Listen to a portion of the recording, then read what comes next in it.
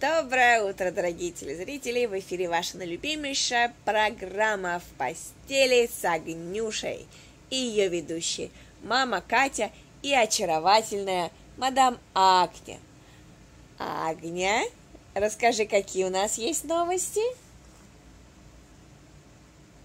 Агня скромничает, но вчера Агнюшка была на скалодроме, и представьте себе, Агнюша обсосала карабин и растянула все веревки, какие там были, она их растягивала и туды, и сюды, некоторые даже развязала, на некоторых даже повисела. А еще Агнюша трогала холды. В основном мы трогали холды, которые больше похожи на мамину грудь. Но были и маленькие холдики, и совсем малюсенькие – Некоторые она пыталась попробовать на язычок, потому что зубочков еще нету, но мы ей не дали, на что она очень сильно обиделась и кричала и ругалась. Да ладно, что, не ругалась? Ругалась, ругалась.